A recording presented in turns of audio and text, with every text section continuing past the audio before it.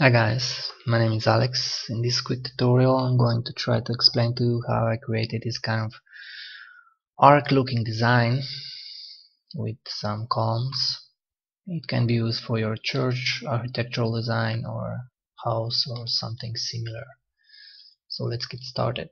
Pressing T on the keyboard and G we get on the top view and G is for making sure the grid is visible.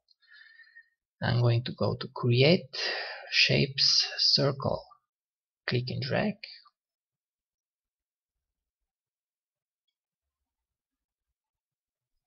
And I, if I would see it uh, so sorry for that. Again click and drag.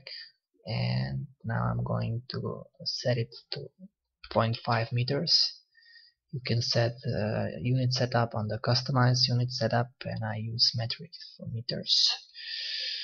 Then I'm going to make sure it's centered. So I'm going to right click on select and move and right click on X value and Y value. Again I'm going to create a new one a new circle and set it up for 0.1 meter radius. Again I'm going to right click and set the x value to 0 I'm going to leave the y value as it is. I'm going to go uh, pretty close and I'm going to align it a little bit. Then I'm going to go to what is this? Hierarchy and use the working pivot and under tools I'm going to click on array and click here on this arrow and under Z I'm going to set in 360 degrees and under count I'm going to use 4 and 4 instances and I'm going to click on preview and I can see it created 4 values uh, for different instances. Now I'm going to click on use working pivot to deselect it and I'm going to select the center one center part to make sure it's visible what I'm selecting. Okay. Um, I selected the center one and I'm going to right click on it and select editable spline. Now I'm going to go down here to attach and I'm going to attach these two these four uh, and I'm going to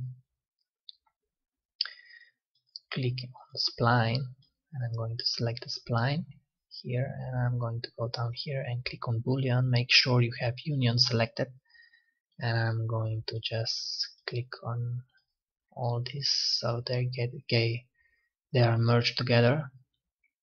Um, and right click on it to deselect boolean and I'm going to go to the modifier and type in extrude and I'm going to set it up to 5 meters. And I'm going to go to front view pressing F on the keyboard. And I can see by pressing G to deselect the grid I see we have I have this nice looking column uh, easily done. You can you can create whatever shapes on the, on base form what that you want and just extrude it and you get the perfect perfect design going back to the top view I'm going to select a little bit dark color so we can see it easily. And pressing 1 on the no now I'm, I'm just going to right click here and collapse it and right click again and make it into editable poly. And pressing 1 on the keyboard so the vertices are, are seen. I'm going to right click on it and select cut and I'm going to cut it right in the middle and the same on the bottom part. I just click B on the keyboard to go to the bottom view. So I'm going back to the top view and selecting polygons and selecting these polygons. Polygon and I'm going to hold shift and click and drag on the X axis. I'm going to let go and make sure clone to element is selected and click OK now I'm going to go to perspective view pressing P on the keyboard. And I'm going to move this this polygon uh, approximately where this, this the half of the arc is going to be created. So I'm going to select this one again. And I'm going to go to polygon and shift click on hinge. And I'm going to go here to pick hinge. And I'm going to select this uh, what is this? This edge. And I'm going to type in 180 degrees and I'm going to use 22 segments. And I'm going to click OK. You can play around with different settings but this one works for me. So if we take a look now we have this uh, created but we have slight issue with uh, these polygons not being in the same polygroups smoothing groups than uh, this below. So I'm going to show you how I fix this. I just holding control just select come on. Just select these ones and these ones. And I'm just uh, going to here to ring and it's going to select everyone everything that I want.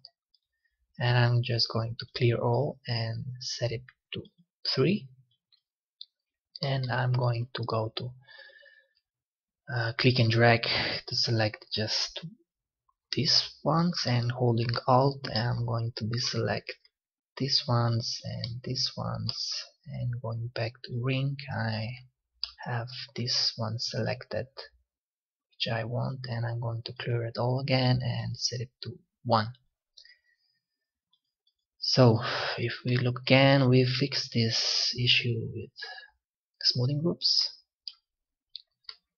Now what I'm going to do is I'm going to select these polygons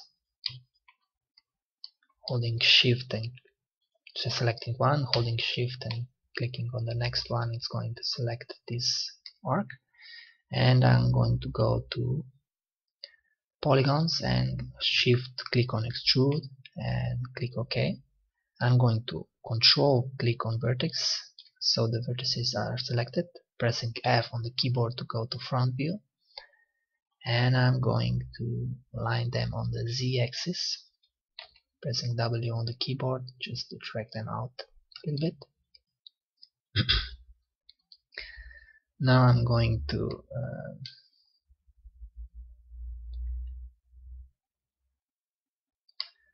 I'm going to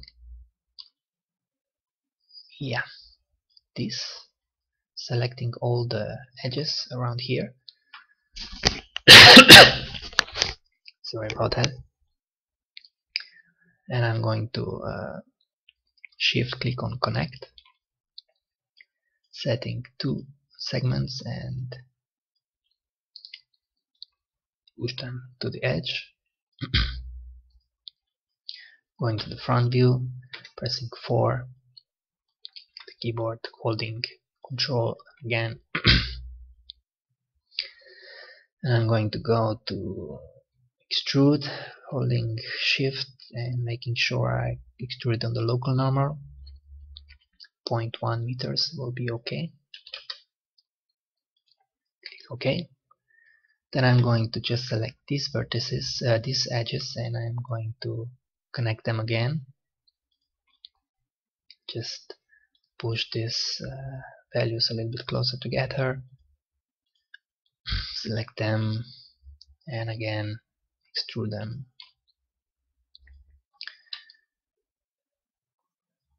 0.05 will do. Nah 0.1 okay and I'm going to do yeah I'm going to do it again. So just this is a pers personal preference uh, how many uh, extrusions you want but I think this will work okay. Holding shift and clicking on extrude. This one is going to be a little bit smaller. Okay. Going down here I'm going to use uh, Swift loop and I'm going to just click it here pressing 4 on the keyboard again and again extrude. Point 0.1 will be okay. And again I'm going to Swift loop 4 on the keyboard. Select these ones and I'm going to extrude them again pressing holding control pressing vertices and holding alt and deselecting these bottom ones and then just drag down a little bit. So we get we get this come on we get this nice column. And then we just need to the front view select the half of it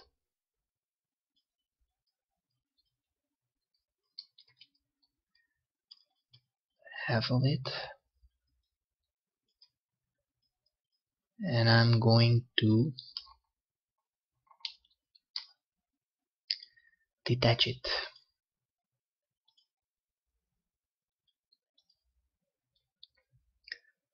Why I'm doing this we're gonna see in a moment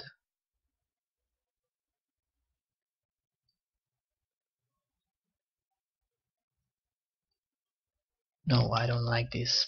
I'm going to undo this but I'm going to make a copy of it. So I'm going to shift click and drag it and make it clone.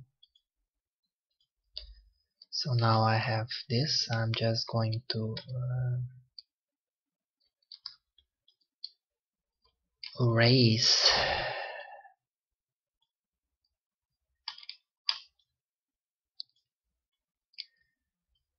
these polygons so they don't duplicate. And I'm going to just in the front view holding shift I'm going to drag it and make an instance two instances. You can make how many instances you ever want but I just want to show you how you can snap toggle because we can see we have a gap here now which we don't want so we go up here and make snap toggle uh, on. And if we right click on it we should have vertex selected.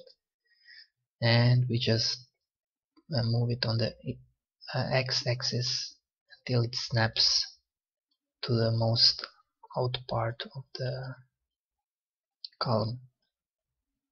So now we can see we have this uh, this part uh, opened. So now I'm going to use uh, this one. And the same way as before we can edit working oh uh, no. We can